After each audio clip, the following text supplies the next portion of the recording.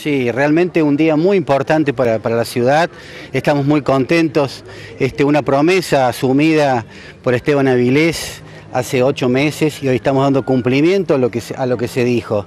después de, un trabajo arduo, después de haber suscrito con la provincia el convenio para el suministro de medicamentos oncológicos, empezamos a trabajar y hoy le podemos dar a la ciudad esto que tanto nos, pedía, esto que tanto soñaban, esto que le va a dar solución a mucha gente que padece esta enfermedad tan terrible y que de alguna manera les vamos a hacer un paliativo para, para la cura de su enfermedad y para su tratamiento. Contentos porque realmente la gestión comunitaria está presente acá, se ha trabajado conjuntamente con todas las instituciones intermedias de la ciudad,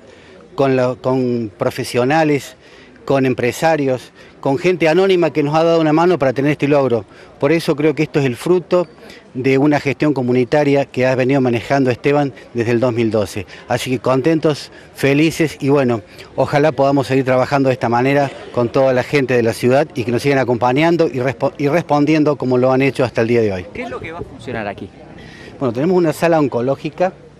si ustedes después pasan a verla, van a ver la sala de espera eh, y tenemos una sala con cuatro sillones donde, donde los pacientes enfermos de cáncer, previo a pasar por el médico, por el oncólogo, van a recibir su tratamiento en cuatro sillones adecuados que hay, que es el tratamiento de la quimioterapia. Es fundamental esto, o recién lo decía, una demanda que venían solicitando hace bastante tiempo, ¿no? la comunidad.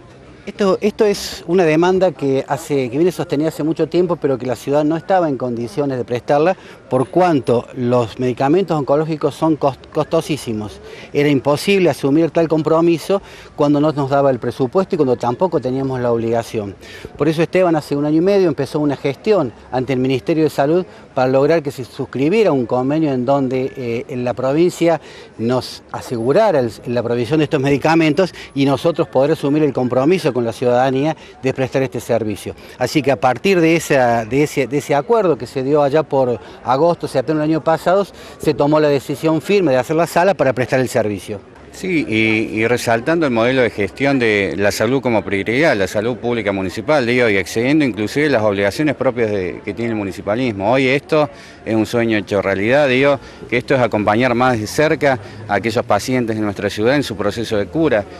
teniendo un hospital también a la par con la infraestructura necesaria, los efectos de estar en, toda situación que tenga que ver en, en este proceso. Y digo, hablamos de un hospital que vamos a ampliar en 900 metros cuadrados, este hospital donde eh, en el 2018 tuvimos la primera ablación de órganos, este hospital donde ante una visita presidencial eh, el, hospital de primera respuesta habían definido su cuerpo médico que era el, Sayago. Digo, esto es un concepto de gestión comunitaria claramente, donde, insisto, la prioridad de la salud pública municipal es algo fundamental en esta comunión que tenemos con las instituciones intermedias y sobre todo con el vecino de Carlos Paz. Sí, la verdad primero destacar este desafío hace casi dos años, tanto bueno, de Rubén a través de todo su equipo de trabajo, con Daniel, con el Consejo de Representantes, con las instituciones intermedias que siempre están al lado nuestro y la problemática que tenemos que a veces en estos años que la economía es compleja, tener una estrategia siempre de convocar a aquellos organismos que participan y que nos ayudan con los recursos no es menor. Entonces esto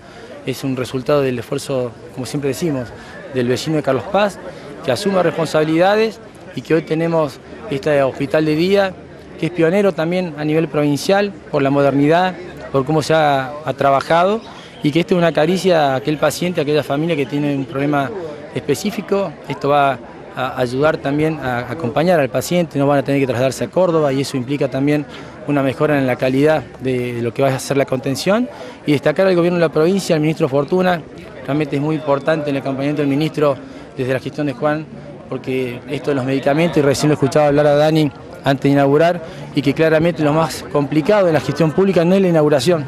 porque hemos sufrido los Carlos Pacientes inauguraciones y esos servicios que duran un mes después desaparecen. Acá nuestra mirada es de responsabilidad hacia el futuro y esa responsabilidad nos llevó con Rubén a firmar ese convenio con la provincia de Córdoba y tenemos todos los medicamentos trabajándose con la provincia. Entonces esto realmente resulta el trabajo coordinado provincia, municipio y sobre todo el vecino de Carlos Paz que se ha apropiado de esta este instrumento de trabajo comunitario que tenemos en el pueblo.